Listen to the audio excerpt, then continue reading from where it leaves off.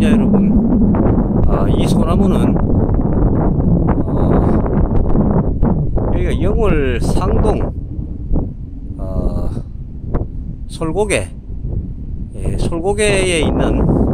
그 유명한 어, 소나무가 되겠습니다 예, 수년 전에 한번 왔다 갔는데 예, 오랜만에 여기 한번 지나가면서 또 잘생긴 소나무를 한번 어, 구경을 해보고 있습니다.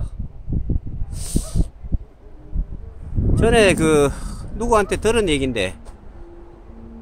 이 소나무가 여러분 그 광동제약의 예, 우황청심안에 나오는 그 소나무랍니다 여러분